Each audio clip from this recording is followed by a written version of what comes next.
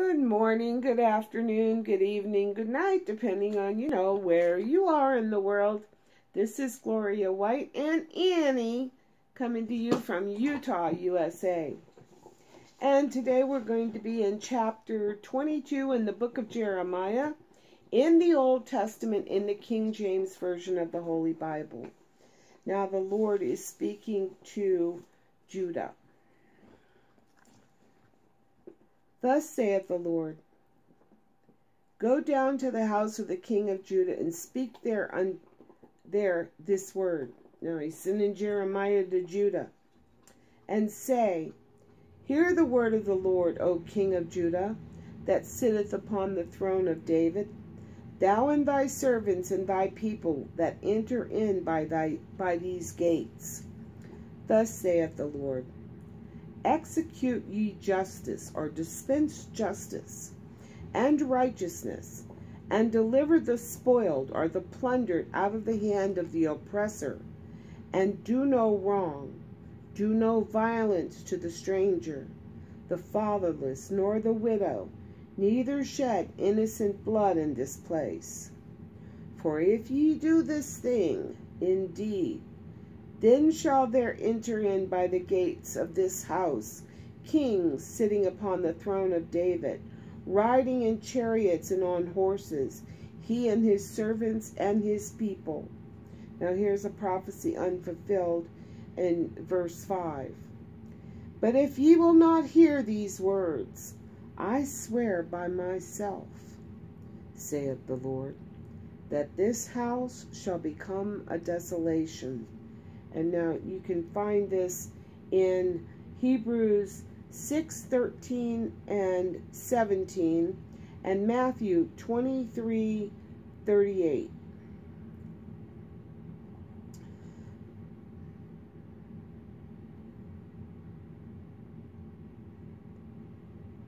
Verse 6 For thus saith the Lord unto the king's house of Judah, Thou art Gilead unto me, and the head of, the, of Lebanon. Yet surely I will make thee a wilderness, and cities which are not inhabited. And I will prepare destroyers against thee, every one with his weapons, and they shall cut down thy choice cedars, and cast them into the fire. And many nations shall pass by this city, and they shall say every man to his neighbor, Wherefore hath the Lord done un thus unto this great city? Then they shall answer, Because they have forsaken the covenant of the Lord their God, and worshipped other gods, and served them. Weep ye not for the dead, neither bemoan him, but weep sore for him that goeth away, for he shall return no more, nor see his native country. For thus saith the Lord touching Shallum, the son of Josiah, king of Judah, which reigned instead of Josiah his father, which went forth out of his place. He shall not return thither any more but he shall die in the place whither they have led him captive, and shall see this land no more.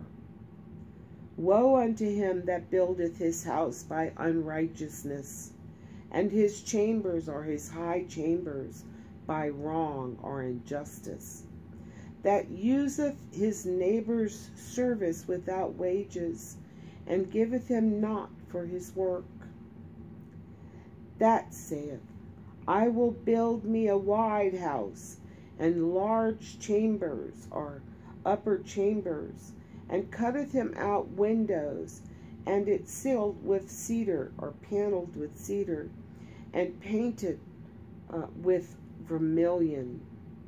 Thou shalt reign, because thy closest, closest thyself in cedar, or enclose thyself in cedar. Did not thy father eat and drink and do justice or judgment and justice or justice and righteousness? And then it was well with him? Saying, when your father did the right thing, it was good with him. He judgeth the cause of the poor and needy. Then it was well with him. Was not this to know me? saith the Lord. But thine eyes and thine heart are not but for thy covetousness, for to shed innocent blood, and for oppression and for violence to do it. Therefore thus saith the Lord concerning Jehoiakim, the son of Josiah, king of Judah, They shall not lament for him, saying, Ah, my brother, or Ah, sister. They shall not lament for him, saying, Ah, Lord, or Ah, his glory. Ye shall be buried with the burial of an ass, drawn or dragged and cast forth beyond the gates of Jerusalem.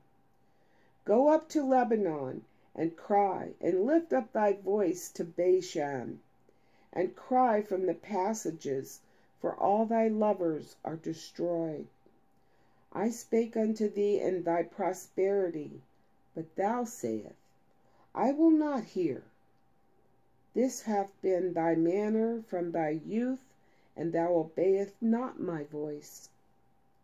The wind shall eat up all thy pastors or shepherds, and thy lovers shall go into captivity. Surely then thou shalt be ashamed and confounded or humiliated for all thy wickedness. O inhabitant of Lebanon, thou makest thy nest in the cedars. How gracious shalt thou be when pangs come upon thee, the pain as of a woman in travail or childbirth. As I live, saith the Lord, thou Coniah, or that's Je Jehoiachin, the son of Jehoiakim, king of Judah, wear the signet upon his right hand, yet will I pluck thee thence. I will give thee into the hand of them that seek thy life, and into the hand of them whose face thou fearest, even into the hand of Nebuchadnezzar king of Babylon, and into the hand of the Chaldeans, or the Babylonians.